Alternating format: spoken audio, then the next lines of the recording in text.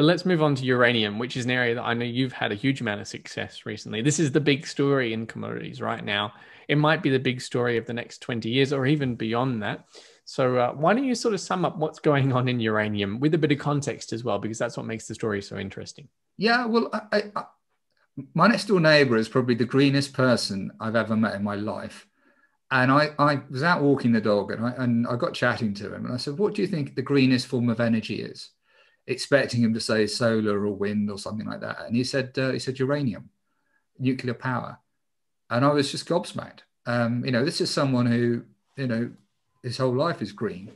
And um, so, you know, largely because of that, I sort of went back and started looking at some uranium companies.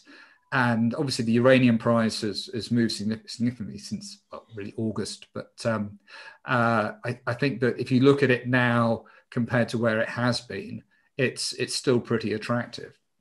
Um, but um, yeah, I, I mean, a lot of us are familiar with you know Chernobyl and Fukushima and things like that, but but nuclear power has moved on a lot since then, and um, the the reactors are uh, much safer than they used to be. Uh, the technology has improved dramatically, and so I think you know it's going to take a while for the public to, to sort of I know buy into nuclear power. But what I particularly like about nuclear power is you know one it's clean um, and two, it, it, gives you the base load. And the base load is, is so important because, um, you know, if you're living in Texas, um, you would know that when, you know, when they had the, the terrible storms, the, the solar and wind power got knocked out basically. And so you did need that base load.